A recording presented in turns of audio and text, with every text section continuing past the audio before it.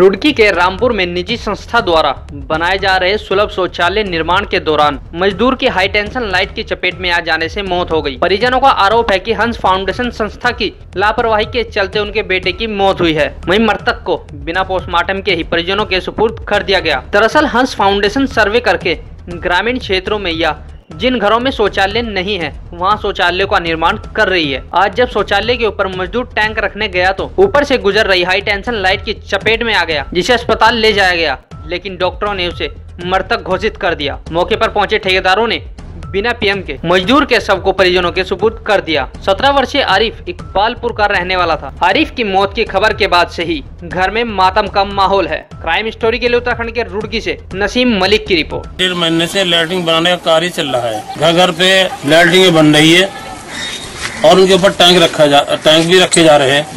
आज सुबह लैटरिन बनने के बाद ये टैंक ऊपर रखे जा रहे थे। एक लड़का था, नाम तो मुझे मालूम नहीं।